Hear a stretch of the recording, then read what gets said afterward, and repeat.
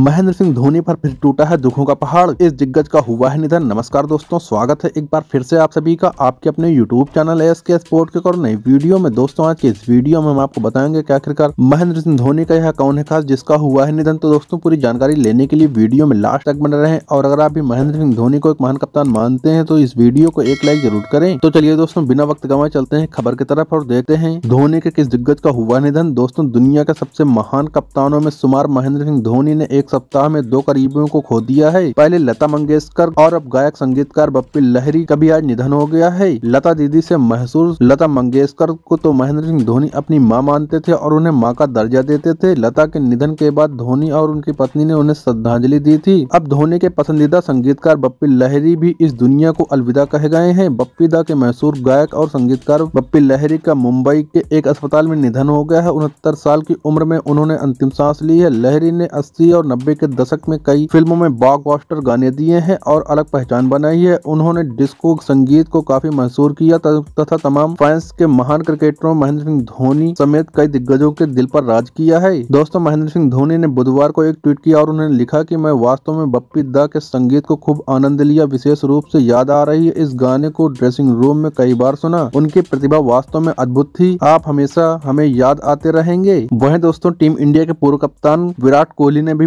दा को याद किया और उनकी आत्मा को शांति के लिए प्रार्थना की है। विराट कोहली ने लिखा कि भारतीय संगीत के आइकन बप्पी लहरी आप हमेशा याद आओगे, आपकी आत्मा को शांति मिले। तथा पूर्व भारतीय ऑलराउंडर युवराज सिंह ने भी बप्पी दा को श्रद्धांजलि दी है। दोस्तों, हम आपको बता दें कि महेंद्र सिंह धोनी बप्पी दा के बहुत बड़े फ़ैन थे और उनके संगीत का हमेशा आनंद लेते रहते थे। दोस्तों, आज की अपडेट में इतना ही। खबर पसंद आए तो इसे लाइक और शेयर करें तथा क्रिकेट जगत की अन्य जानकारियों के लिए चैनल को सब्सक्राइब करें। मिलते हैं नेक्स्ट अपडेट के साथ। तब तक के लिए नमस्कार।